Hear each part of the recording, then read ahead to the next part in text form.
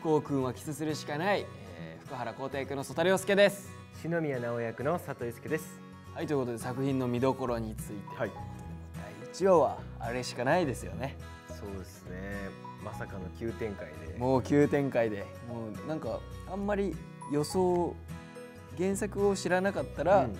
あまり予想できないんじゃないかな確かに。原作知らないで見たら相当びっくりするびっくり。急に来ますから、ねはい。その瞬間は。でも本当に個性豊かなキャストさんたちもうん。たくさん出られてて、賑やかなシーンとかも本当にくすっと笑えるシーンもあるのでぜひぜひ見ていただきたいです、ね、やっぱ1話が一番キャストさん出られてるんですね。あそうですね。4話とか多分ほとんど俺たちのシーンだったりするんで、ぜひ楽しみにしてもらいたいと思います。はい。ぜひドラマを楽しんでくださいね。見てね。